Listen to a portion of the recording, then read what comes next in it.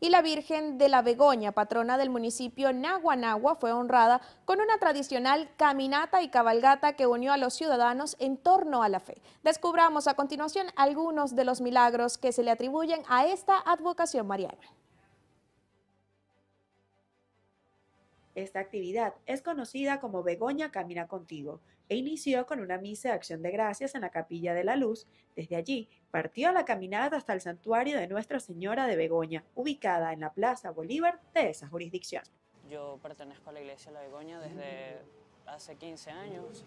Ella llegó de Bilbao y dijo, cuando llegó aquí a Venezuela, cuando llegó aquí a, la entrada, dijo, aquí estoy y aquí me quedo. Entonces, esto es para nosotros la Begoña, es algo que nos hace muy feliz, que amamos mucho y que acompañamos en, en este caminar.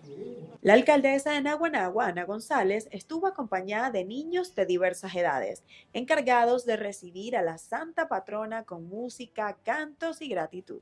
En el transcurso de esta actividad, feligreses relataron cómo surgió su devoción a la Virgen. Mi esposo y yo no podíamos concebir de manera natural, fue el diagnóstico médico y pues nosotros decidimos abocarnos a hacer oración y entregarnos a la Virgen de Begoña. Y concibió el milagro de que naciera Marcos, nuestro hijo, después de siete años de oración. Yo con mis 12 años ya llevo cuatro años siendo custodia de la Virgen de la Begoña Quise ser custodia prácticamente fue por mi abuela Sofía, es la señora que hace los vestidos de la Virgen. Desde que tengo aproximadamente cinco años, he venido a todas las cabalgatas, a veces cuando no vengo a caballo, vengo caminando.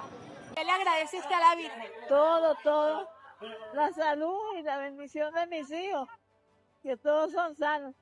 De esta forma, la madre salió al encuentro con sus hijos, en el marco de las actividades por las fiestas patronales de Nuestra Señora de Begoña, que concluirán este jueves 15 de agosto.